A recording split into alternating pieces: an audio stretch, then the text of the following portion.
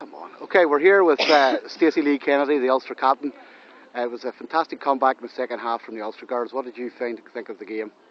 I thought the game was tremendous. Um, I thought the girls really showed heart. We came down here today after last week's game feeling positive. Um, I felt that we really brought it to Munster, and only we stepped off in the pedals last week. We decided coming down today that we were going to just give, get, keep up in Leinster's face and, and, and keep misru- disrupting their ball, and um, it worked well for us. They didn't like um, any of our open play stuff, and I thought um, we were going to get it there towards the end, but fair play to them. Very unlucky, but it must give you some confidence going forward to Connacht next week. Oh, totally. I mean, um, you know, last year was to, to beat Connacht last year. That was the the the, the positive of the season for us last year. For me, this scoreline today against how we played against Leinster is better than that and we're going to take this and we're going to take it down to Connacht next week and hopefully we're going to bring home another one.